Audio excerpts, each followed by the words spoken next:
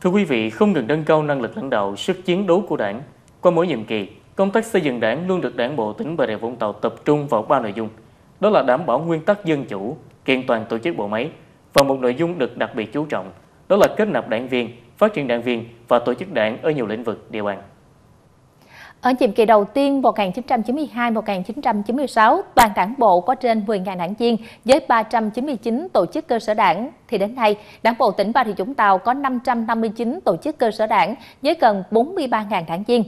Đáng ghi nhận là vai trò lãnh đạo của đảng ngày càng phát huy trong các khu vực ngoài nhà nước, trong khu dân cư, trong vùng đồng bào có đạo, dân tộc ít người. Đảng bộ tỉnh Bà Rịa Vũng Tàu không ngừng lớn mạnh về tổ chức, về số lượng đảng viên. Chúng ta cùng điểm lại những dấu mốc này nhé.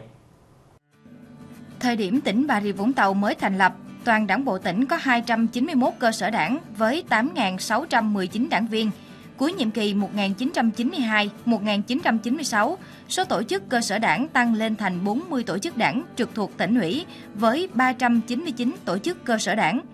Thêm 1.522 đảng viên mới kết nạp, tổng số đảng viên cũng tăng lên 10.422. 307 cơ sở đảng xếp loại trong sạch, vững mạnh không ngừng đổi mới phương thức hoạt động, đẩy mạnh phát triển đảng trong mọi lĩnh vực, địa bàn. Đảng bộ tỉnh Bà Rịa Vũng Tàu khóa 2 có 14 tổ chức đảng trực thuộc với 453 tổ chức cơ sở đảng vào cuối nhiệm kỳ 1996-2000. Đảng bộ đã phát triển thêm 3.072 đảng viên mới, đưa tổng số đảng viên lên 14.268 và được xếp loại trong sạch vững mạnh, có 390 cơ sở đảng. Sự nghiệp công nghiệp hóa hiện đại hóa đất nước đòi hỏi đảng phải nâng cao về chất trên cả ba mặt, chính trị, tư tưởng và tổ chức. Nghị quyết Đại hội Đảng bộ tỉnh lần thứ ba, nhiệm kỳ 2000-2005 tiếp tục tập trung vào nhiệm vụ phát triển đảng viên. Cho đến cuối nhiệm kỳ, toàn đảng bộ có 518 tổ chức cơ sở đảng với 19.511 đảng viên. Trong số này, 446 cơ sở đảng được xếp loại trong sạch vững mạnh.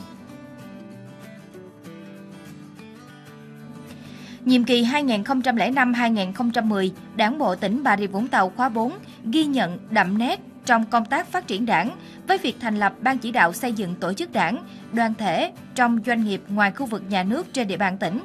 Nhiều tổ chức đảng trong doanh nghiệp ngoài nhà nước đã phát huy vai trò hạt nhân trong lãnh đạo, điều hành cùng chủ doanh nghiệp. Xây dựng mối quan hệ hài hòa giữa chủ doanh nghiệp với người lao động, đưa doanh nghiệp phát triển bền vững, với con số phát triển đảng viên ấn tượng 7.666, toàn đảng bộ có 24.655 đảng viên, 523 cơ sở đảng xếp loại trong sạch vững mạnh. Nhiệm kỳ 2010-2015, Đảng bộ tỉnh Bà Rịa Vũng Tàu khóa 5 có 16 tổ chức đảng trực thuộc, 608 tổ chức cơ sở đảng và 309 cơ sở đảng xếp loại trong sạch vững mạnh – đổi mới nội dung, phương thức hoạt động, nâng cao tính thuyết phục, nâng cao hiệu quả công tác tư tưởng. Vì vậy, Đảng bộ có thêm 8.643 đảng viên mới, toàn Đảng bộ có 33.832 đảng viên.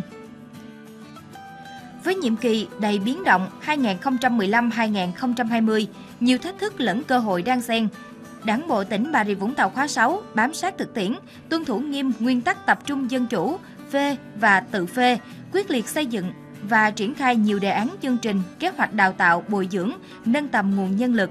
Đảng bộ đã kết nạp thêm 8.702 đảng viên, 563 tổ chức cơ sở đảng và đảng bộ cấp trên cơ sở hoàn thành nhiệm vụ. Trước thêm Đại hội Đảng bộ tỉnh Bà Rịa Vũng Tàu lần 7, nhiệm kỳ 2020-2025, toàn đảng bộ có 14 tổ chức đảng trực thuộc, 559 tổ chức cơ sở đảng và 42.925 đảng viên.